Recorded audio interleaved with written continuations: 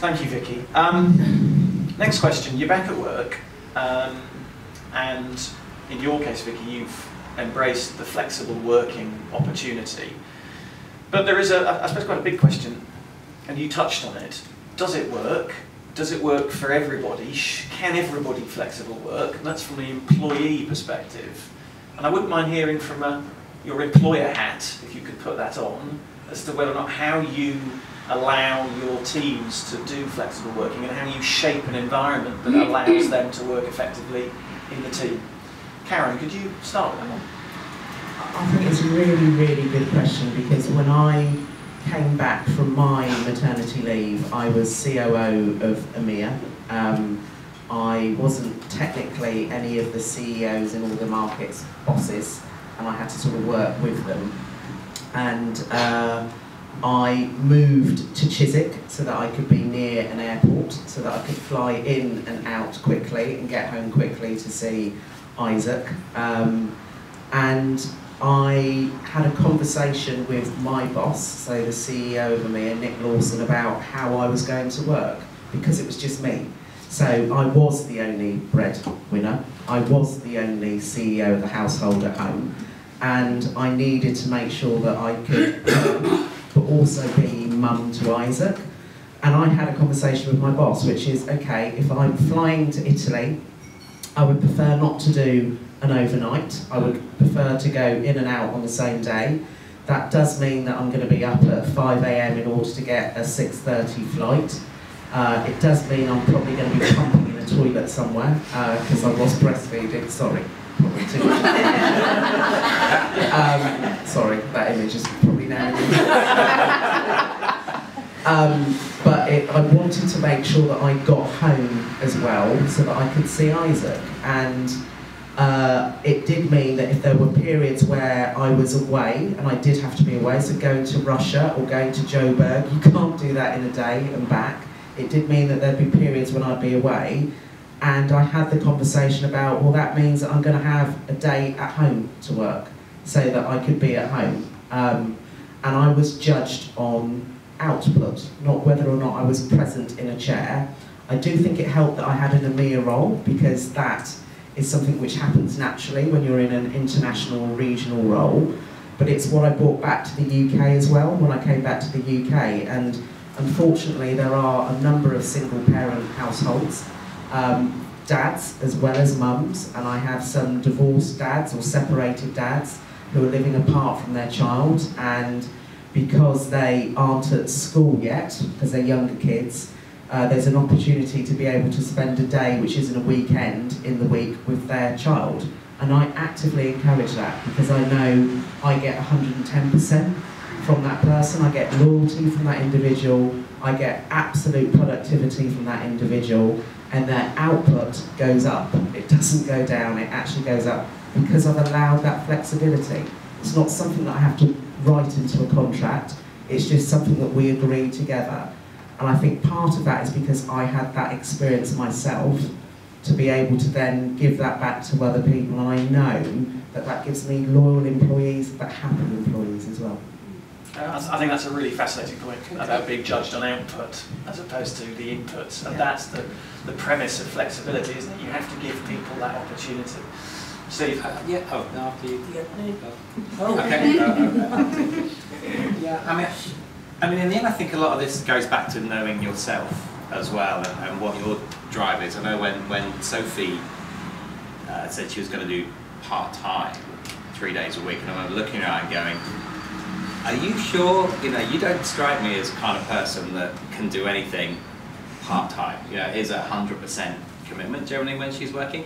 And that proved to be the case. So those three days effectively became five, sometimes five and a half, because they go into the evenings and they go into the mornings and they'd be flights to different countries. So I think there is a um, uh, there is a start point within uh, that. that if we if I was doing that differently now, I think I'd have pushed that point a bit harder, and I think we'd have been a bit more honest with ourselves, which is yes, contractually it's part time, but it's probably going to spread outside of that as well. So I guess it's be prepared or kind of pre-prepare for the notion that those are the defined hours but we're in a service industry, and that makes it very difficult to work within those defined hours, even if you are just focused on output. That's partly because of the industry, but it's also partly because of personality type. And if you think you're going to be the kind of person that can't not stop doing that, then you are going to be the kind of person that can't not stop doing that, whether it's part time or full time. Do you think employees, employers should be forced to always offer flexible working? Um, I think that, I mean, contractually, I think you have to consider it now as a kind of legal.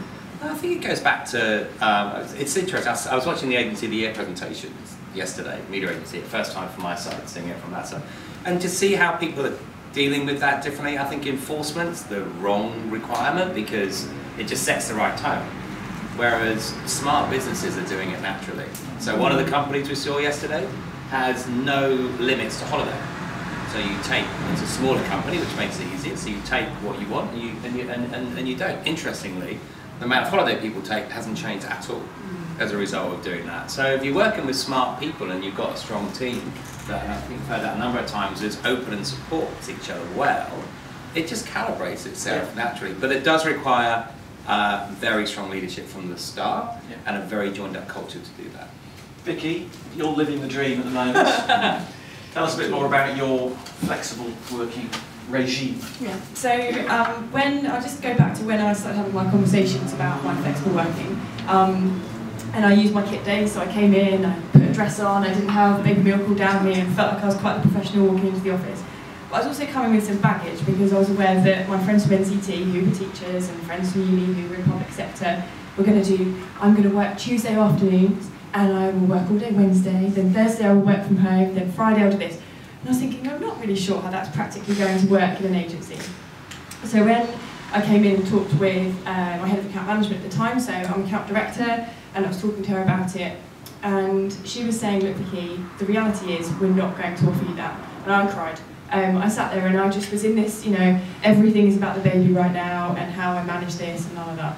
And then I took some time out from that conversation and thought about it, and, and she was right. But the one thing she said that really stuck with me was that it's not about the contractual hours, it's about how you manage your time. So you're a grown up, you're a professional, so you can manage your output. So rather than committing to on a Tuesday afternoon, I'll leave the office at 1 pm, as you know my friends in the public sector would do, for instance, and no disrespect to them, they are able to do flexible working more easily than we are.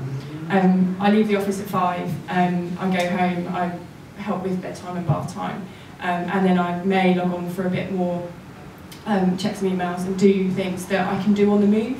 And that's how I've kind of framed it, is rather than sitting managing my emails for a portion of my day, I don't do that. I go to meetings, I do the things that I need to do that are in the office, and then the things that I can do on the move, I do on the move. So I check emails, make phone calls and things like that. So it's actually a more grown-up approach, and I think rather than forcing flexible working, which we think is in and out of the office, it's more about thinking about how you manage your own time and being responsible for that and being judged on your output. Did you have anything Yeah. want to say, Sam? I think Steve's point about knowing yourself is really important, and um, I knew when I was coming back from that leave that I'm not the sort of person to uh, be able to do my job in three or four days a week. In fact, I knew what would happen is I'd end up doing my five day a week job, which is really a seven day a week job, and getting paid for four days or three days, and that didn't sound like a very good plan to me. So I said from the beginning I was going to work five days a week. Uh, and actually, when you start a new job, it's quite hard to get the flexibility that you want to need. You kind of tend to earn that with trust over time. Um, and that has definitely worked for me. And I, I think there seems to be a thing now that I see with lots of people who work in our, in our agencies that you're working mum, therefore you come back four days a week. And actually, I, I just ask people to challenge that. I would also love to see more men doing this. I mean, this whole thing, this isn't should this should not just be about the mum. You know, I would love to see it where you know couples are really doing. You do four days and I do four days. If that's the answer, um, because frankly, you are as a man just as much a parent as a woman. And it's that whole thing. I'm going off on one now, but there's the whole thing about the man saying, "I'm going home to babysit." They're your bloody lot. They're your children. Yeah, I've been caught up on that one. it's genuinely fascinating. Um, so, so, and I think the other thing to say is over time, your needs uh, in terms of flexibility change in the evolve. I've given you some classic examples, but think originally about how you want to better lead your life. So one of the things that I did, and people hear about this and they go, oh, that's brilliant, I hadn't thought about that. Rather than going home early at the end of the day, I know agencies work late. I run in charge of all of our pitches, that's like you know, 130 odd a year across the group. Me saying I'm going home at five o'clock ain't going to go down too well and is actually not going to allow me to do my job that well. So I start later. So my official working hours are 10.30 till 6.30. What that means is I feel no guilt about getting out the door in the day, about going home. I'm absolutely fine. In fact, I'm on call for my company, whatever I need to do, networking, clients, journalists, whatever. Tuesday, Wednesday, Thursday. Monday's mine. Monday I sing. Um, Friday, Saturday, Sunday, family. Uh, uh, but I feel no guilt about it. And on, on the, that means every morning I see my children. Every morning. And I also have time to do things that are for me as well, because you can't forget the bit in this. We're talking about the kids and the work, but you've got to come in somewhere again.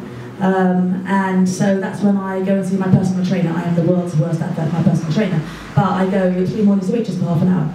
Um, I go and see my osteopath once a week, so fitting in all that stuff too. So think about what time you work. And I also now work from home on a Friday, and I started off being very lax about that. Oh, right, you need me for a meeting, okay, fine.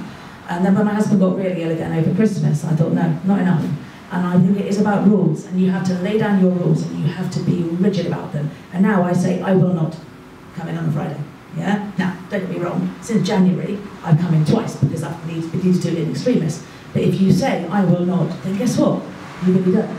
Uh, and that has just enhanced my sanity so much more. So just be careful what you want.